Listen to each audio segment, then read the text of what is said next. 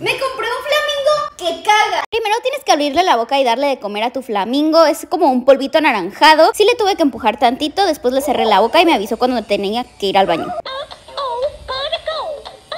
Así que inmediatamente lo puse en el excusado y empezó a cagar bolitas anaranjadas. Le quité la tapa del excusado y le escurrí todo el agua y miren cómo se seca instantáneamente y se convierte en la comida del flamingo una vez más.